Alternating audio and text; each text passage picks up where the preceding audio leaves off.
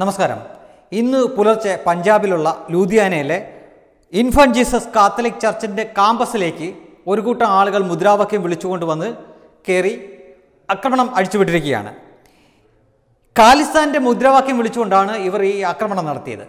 പക്ഷേ നമ്മുടെ ഇവിടെയുള്ള ഏതെങ്കിലും മാധ്യമങ്ങൾ വഴി നിങ്ങൾ ഈ വാർത്ത കേട്ടോ? കേൾക്കില്ല. ഈ ഖാലിസ്ഥാൻ വാദ വാദം നടത്തുന്നവർ ഇന്ത്യ വിഘടിച്ച് മറ്റൊരു ഖാലിസ്ഥാൻ എന്ന് പറഞ്ഞ ഒരു രാഷ്ട്രത്തിന് വേണ്ടി നടക്കുന്നവരാണ്. തീർ തീർച്ചയായിട്ടും അവർ രാഷ്ട്രവിരുദ്ധരാണ്. ഈ രാഷ്ട്രവിരുദ്ധരുടെ ഇതേപോലുള്ള ഒരു ആക്രമണ വാർത്ത കൊടുത്താൽ ഇവിടെ സാമുദായിക കലാപമൊന്നും ഉണ്ടാവാൻ പോണില്ല. പക്ഷേ എന്നിട്ടും നമ്മുടെ മാധ്യമങ്ങൾ ഈ വാർത്ത നമ്മളിലേക്ക് എത്തിച്ചില്ല. എന്നാൽ ഇതിനൊരു മറുവശമുണ്ട്. നിങ്ങളൊന്ന് ചിന്തിച്ചു നോക്കുക. ഈ രാജ്യത്ത് ഏതെങ്കിലും ഒരു പൊതു തിരഞ്ഞെടുപ്പോ അല്ലെങ്കിൽ ഏതെങ്കിലും സംസ്ഥാനങ്ങളിൽ ഒരു തിരഞ്ഞെടുപ്പൊക്കെ വരുമ്പോൾ ഏതെങ്കിലും ഒരു നാമധാരി അവൻ ചിലപ്പോൾ ഹൈന്ദവ നാമധാരിയാവാം വിശ്വാസിയാവാം അല്ലാതിരിക്കാം. ഏതെങ്കിലും ഒരു പള്ളിയിലേക്ക് കല്ലെറിഞ്ഞെന്നോ മറ്റോ ഒക്കെ പറഞ്ഞ് ഒരു കേസ് ഉണ്ടാക്കുന്നു. അത് ഇന്ത്യ മുഴുവൻ അങ്ങ് പടർത്തി വലുതാക്കി വാർത്ത കൊടുക്കുന്നു. ഒരുപക്ഷെ സാമുദായിക സ്പർദ്ധ വരെ ഉണ്ടാക്കാവുന്ന ഒരു സംഭവം. അത്തരം സംഭവങ്ങൾ നടക്കുമ്പോൾ വലിയ രീതിയിൽ വാർത്ത കൊടുക്കുന്നവർ എന്തുകൊണ്ട് ഈ വാർത്ത നമ്മളിലേക്ക് എത്തിച്ചില്ല എന്ന് നമ്മൾ ചിന്തിക്കണം. ഖാലിസ്ഥാൻ വാദികൾ തീർച്ചയായിട്ടും ദേശീയവാദികളെ അല്ല.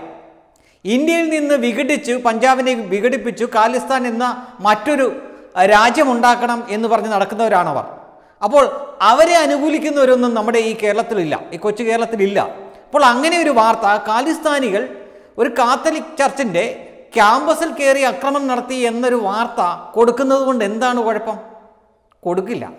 മറിച്ചു ഏതെങ്കിലും ഒരു നാമധാരിയാണ് ഒരു കല്ലെറിഞ്ഞെന്നോ അല്ലെങ്കിൽ ഒരു പാസ്റ്ററെ കയ്യേറ്റം ചെയ്തെന്നോ ഈ രാജ്യത്തിന്റെ ഏതെങ്കിലും ഒരു മൂലയ്ക്ക് അങ്ങനെ എന്തെങ്കിലും നടന്നാൽ അത് വലിയ വാർത്തയാക്കി ഇവിടെ കൊട്ടി ഘോഷിക്കും എന്താ? സാമുദായിക സ്പർദ്ധ ഉണ്ടാക്കാൻ വേണ്ടിയിട്ട്. നമ്മുടെ മുഖ്യധാരാ മാധ്യമങ്ങൾ എന്ത് തരം മാധ്യമ പ്രവർത്തനമാണ് നടത്തുന്നത് എന്ന് മനസ്സിലാവുന്നേയില്ല.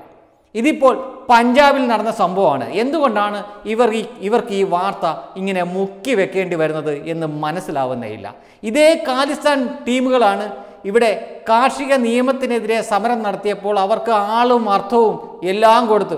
ഈ നാട് കുട്ടിച്ചോരാക്കാൻ വേണ്ടിയാണ് ശ്രമിച്ചവർ ഇതേ കാലിസ്ഥാനികൾ തന്നെയാണ്. അവർ രാഷ്ട്ര വിരുദ്ധരാണ് ആ രാഷ്ട്രവിരുദ്ധർ ഇന്നിതാ ഇന്ത്യയിലുള്ള ഒരു ക്രിസ്ത്യൻ ദേവാലയവും അതിനോട് ചേർന്നുള്ള ഒരു ക്യാമ്പസും ആക്രമിച്ചിട്ട് നമ്മുടെ മാധ്യമങ്ങൾ അത് വാർത്ത പോലും കൊടുത്തില്ല. എന്താ അല്ലേ? ഇവർ എങ്ങനെയാണ് ഈ ക്യാമ്പസിലേക്ക് കടന്നു കയറുന്നതല്ലേ? ഖാലിസ്ഥാൻ മുദ്രാവാക്യം മുഴക്കിക്കൊണ്ടുവന്ന ആയുധധാരികളായിട്ടുള്ള ഒരു കൂട്ടം ആളുകൾ സുരക്ഷാ ഉദ്യോഗസ്ഥരെ തോക്കിന്റെ മുനയിൽ നിർത്തി പള്ളിയുടെ തൊട്ടു മുന്നിലുള്ള പിയറ്റിയുടെ പ്രതിമ തകർക്കുകയും ക്യാമ്പസിലുണ്ടായിരുന്ന കാറുകൾക്ക് തീയിടുകയും ചെയ്തു. അതീവ ഗുരുതരമായിട്ടുള്ള ഒരു ആക്രമമാണ് അവിടെ നടന്നത്. സുരക്ഷാ ഉദ്യോഗസ്ഥരെ തോക്കിന്റെ മുന്നിൽ നിർത്തിക്കൊണ്ട് അതിന് അവിടെ പാർക്ക് ചെയ്തിരുന്ന കാറുകൾക്കൊക്കെ തീയിട്ടുകൊണ്ട് വലിയ അക്രമം നടത്തിയിരിക്കുന്നു. മറ്റൊരു രാഷ്ട്രവാദികൾ. ഇവിടെ നമ്മുടെ കൂടെ ജീവിക്കണം എന്ന് ആഗ്രഹിച്ചത് പോലുമല്ല. ഇതുപോലും മുക്കുന്ന മാധ്യമപ്രവർത്തകർ നാളെ പാകിസ്ഥാൻ നമ്മളെ ആക്രമിക്കാൻ വരുമ്പോൾ ആ വാർത്ത പോലും ഒരുപക്ഷെ നമ്മളിൽ നിന്ന് ഇവർ മറച്ചു വെച്ചാൽ അത്ഭുതപ്പെടാനില്ല. വെബ് ഡെസ്ക് തത്വമൈ ന്യൂസ്.